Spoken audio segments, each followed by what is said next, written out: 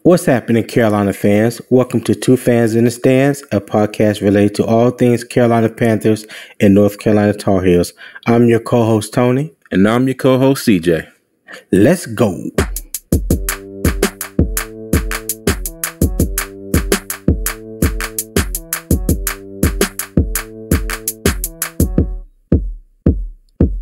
CJ, what's happening, cuz? What's good with you? Doing good, cuz. How you doing? Man, I'm doing all right. I'm doing all right. I'll be doing a lot better if these damn Tar Heels will get their mind right and uh, you know, play play some ball and stop looking ahead to this Clemson game. Damn. Man, who you telling? They um the, the, the way they playing, they might as well just look ahead to whatever bowl game they going to play. Because if um they put the same effort out they have the past two weeks against against Clemson, and it's gonna be a blowout. Man, hey, it, it is what it is at this at this point. I guess they just happy with being uh nine and two and playing an ACC championship game because everybody just look like now. they just got yeah nine and three. Yeah, you're right, 9 mm-hmm. and three. They like they just got complacent, and uh that kicker. Yeah, I I hope I hope they pull this scholarship uh Sunday Sunday morning. Yeah, he he, he, don't, like that. he don't he don't walk he don't walk on status. No, for real. You have I, I, I uh, know one job. Yeah, one yeah. job. It was was a 30, 33 yard field goal, if that. It was something, something like short, that. yeah. It, mm-hmm. A chip shot, chip shot. You don't even really get the ball off in the air. It looked like a damn frisbee. Come on, bro. nah. It so did. what were your what were your thoughts on the game, man? Come on, that's man.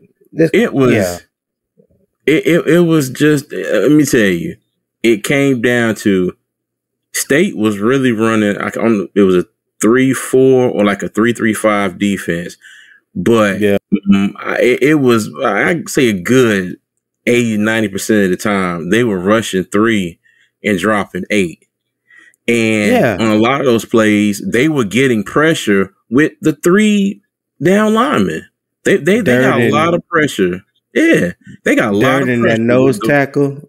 That nose yes. tackle, he man, he was All eating the offensive last. Yeah, yeah, yeah. He was uh-huh. eating ass up yesterday.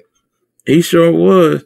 And the thing was, Drake Maye on a lot of those plays, he really didn't have anywhere to go. And it didn't seem like until later on in the game they kind of figured out, like, hey, because you know how on offense you you run, set up the pass.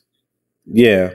It was it was almost, and I, I might sound weird for saying this like this, but and this this is gonna be my analogy. But it was almost like those three down linemen was setting up the blitz because they run they ran them three down linemen, but when they came with the blitz, the blitz was getting to Maye. I mean, it, it was okay. times where the blitzer was just coming off the off the end, and and nobody picked them up. Yeah. Nobody. Yeah. It, was almost like they were so worried with those three down linemen, making sure that they didn't get through. The blitzes were getting through.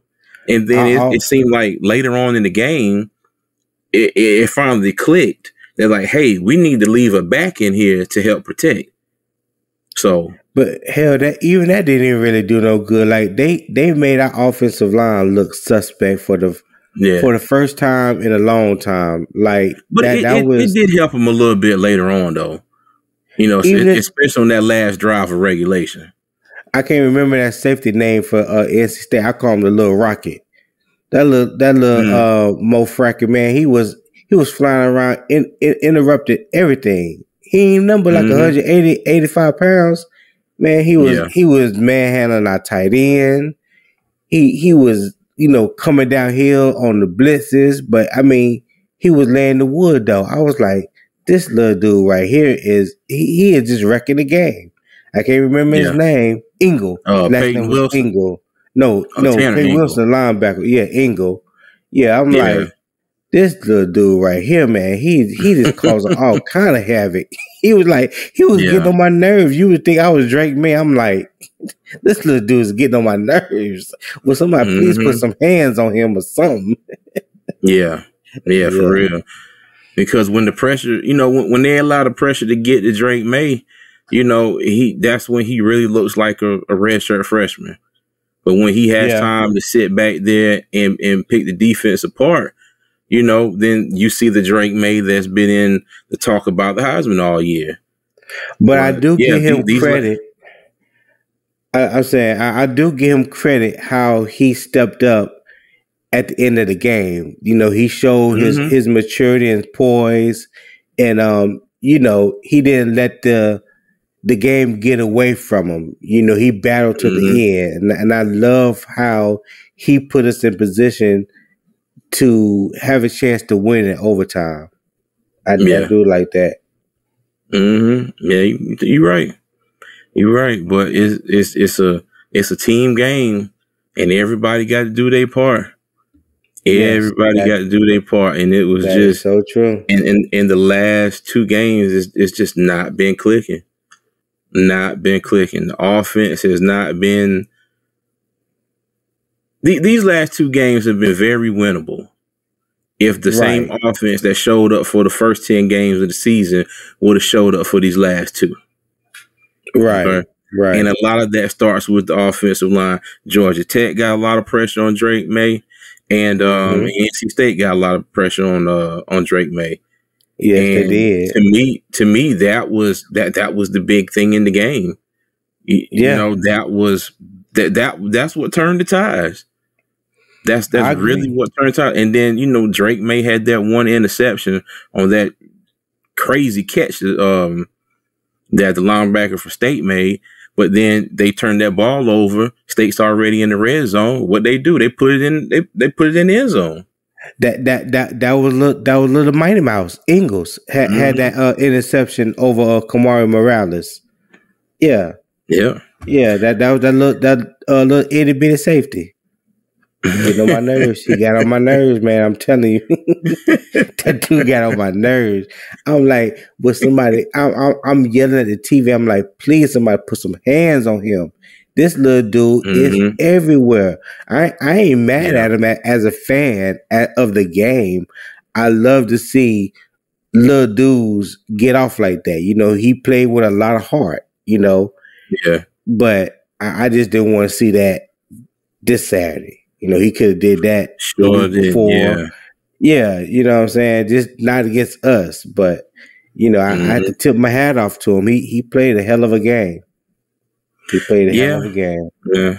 Well, I, I, t- I tell you what, it's going to be um, it's going to be an uphill battle, especially um, you know, with Clemson losing in their uh their rivalry game to South Carolina. So you know they're yeah. going to come in mad next week because basically that's their playoff chances gone. So they they're gonna come out. They're gonna have something to prove, and and they're yeah. gonna be pissed off. But my thing is, is Carolina gonna be pissed off because I I would have thought I, I would have thought they would be pissed off after losing to Georgia Tech, but it really didn't look like they cared that much. I'm hoping. I'm hoping. Uh, DJ um the, okay DJU the quarterback from Clemson have a game like he did this past you know like he did Saturday because he did not look good at all so I hope this this also spells rumors of people that I hear talking about you know he a possible late first round second round pick that oh, dude oh, DJ Uiagalelei yeah he don't need to be oh, drafted yeah, no. at, uh-huh. at, at at all that dude is a that that dude is not no. He he's not it. I can't even put into yeah, words he, my description. He's not NFL ready right now. No, no, Bo, no. But if he do come out this year, which I think he will, you know, because I think it's more. I, I, no, I'm not even gonna say that, but I think he will come out this year. I think he will come out this year, and uh I think that the true freshman is is, is ready to take over Clemson next year. But uh, I just hope mm. that he comes out. They already announced that he's going to start next week, so I hope we see the same DJ you that we saw last week. I think if yeah. he plays the way that he played, and we can somehow shut down Will Shipley in the running game, we we might have a chance. We might have a chance, and I, yeah, yeah, I know that's a big ifs. Yeah, that's but that's what I was gonna say. I know that's, that's exactly what I was gonna say. But yeah, but we'll I, am I'm, I'm just I I'm just looking for upset. Good thing good thing is we playing on neutral site. and we're not in Clemson. That that that I'm Yeah. glad about. That I'm glad about. But you know, neutral field. You know, hey, a- a- anything is possible. Yeah, let, let's just hope that um. I I was gonna say, let's just hope that Carolina fans travel well because um, you Oh, know, you it's it's uh it's, it's truly neutral because it's it's probably about the it might be slightly further to Chapel Hill than down to uh the Clemson, you know, Oh yeah, I, yeah, we, yeah, yeah, Our, our, fan base travels travels well. I, I'm not even worried about that. Always yeah. have, let- always let's, have. let's hope there's enough in the stands to make it you know nice and uh and uncomfortable for Clemson's offense, but we'll, we'll see. But like I said, it's it's that's, that's it's going to be a big if. It's going to be a big if. I, I just hope Mack Brown gets them boys ready, and he, he got to get their head back in the game because they they they hit they in the clouds Yeah. somewhere. They they floating Josh- off lollygagging. Josh Josh Downs needs to step up. He he's been kind of missing the action uh, these past two weeks. I think he only had uh, six receptions for 51 yards. Like that's that's Mhm. that's like a first quarter, maybe a first half for him. Yeah. You know, he he needs to step back up. hurt. Yeah, he yeah, I understand that, but he need a some he you if you if you can walk and you step in between them lines, you need to find you need to find a way. You need to find a Yeah. way. This is true, but I, I I put a little bit of that on the coaching staff. Like my thing is, you know, if you, you can tell when your players ain't right, and I, I and I, me just looking watching the game, he he ain't looked right since the Wake Forest game, and Yeah. you know, ho- hopefully, you, know, it's, it's not like they got a couple weeks to prepare like it's a bowl game. Like, no, this is next week, so Right, right. we, we, we'll see. Right. Yeah, we'll see. You got anything else before we get out of here? I sure don't, man. It's it's still a great day to be a Tar Heel, as always. But um, I'm gonna do a lot of praying. Well, Tar Heel Nation, that will do it for us this week. This week's opponent is the Tigers from Clemson University at Bank of America Stadium in Charlotte, North Carolina. December 3rd, I believe it is. Kickoff is at 8 p.m. Join us for the ACC Championship game. Until then, Tar Heel Nation, we out.